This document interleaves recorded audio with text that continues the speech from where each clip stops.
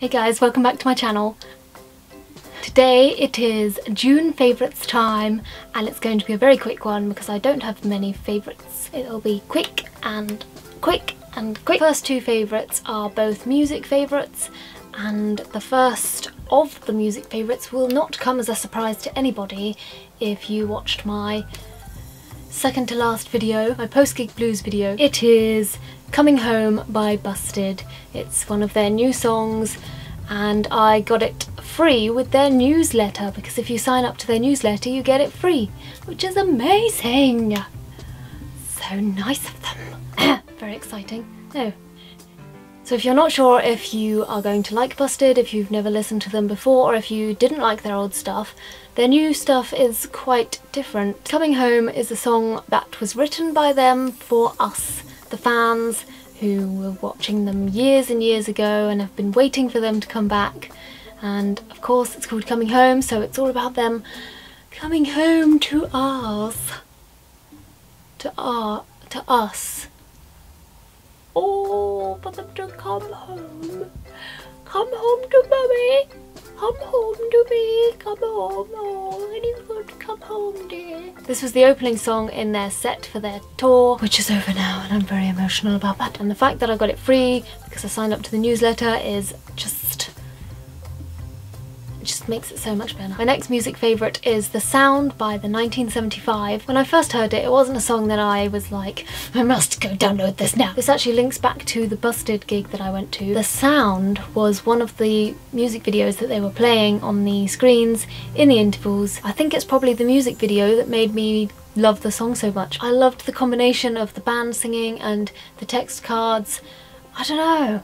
There was just something about it. Maybe it was also the atmosphere of the gig that was putting me in a really good mood. The lyrics don't sound particularly positive, apart from the chorus, but it's a really happy upbeat song and one that you can really dance to. The next thing is a bit odd, I suppose, but it is a quote, kind of inspirational section of text.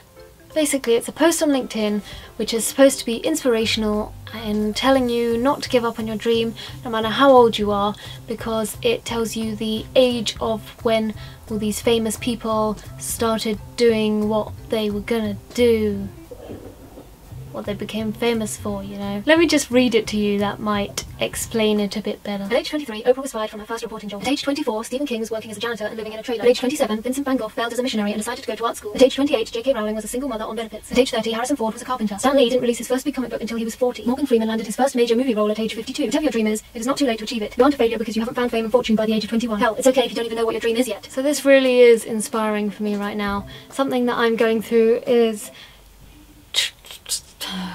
not knowing what my dream is. I don't know what I want to do. There's not that one thing that I'm like, yes, that's what I need to do for the rest of my life. I feel like I need to have that right now. But then I read this quote and it just puts everything into perspective and I think that's that line in particular, you aren't a failure because you haven't found fame and fortune by the age of 21 it's difficult to remember that when you see all of these famous people who are really successful at a really young age and it's just not true that whatever you're doing right now is what you're going to be doing for the rest of your life and that you have to know what you're doing right now and what you want to do and you have to be doing it now and forever and do you know what I mean?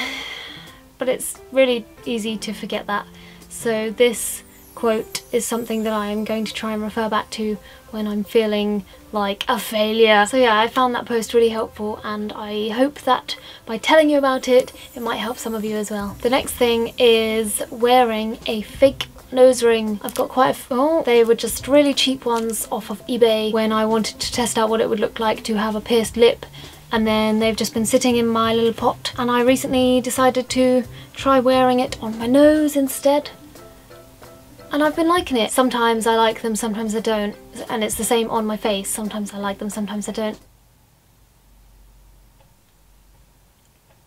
They're quite comfortable to wear because when you put them in, if you put them in the right position and then you just don't move them at all whilst you're wearing it, then you kind of don't feel it, but if you've been wearing it for a while and then you nudge it and it moves to a different position, that's when I start feeling it and it starts getting uncomfortable. They're just little spring-loaded rings and yeah, you can put them anywhere.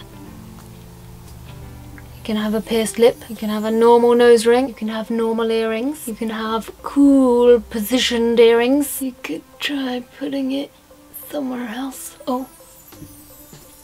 You could, you could try you could you could try it wherever you want to.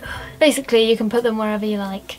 So, oh, but I wouldn't blame you if you don't like this look because, yeah, it definitely is a bit hit and miss, bit marmite. For me, sometimes it's hit, sometimes it's miss. That's exactly what hit and miss means. So, that's pretty much everything. I have got one other thing. I haven't actually used it, I just love it.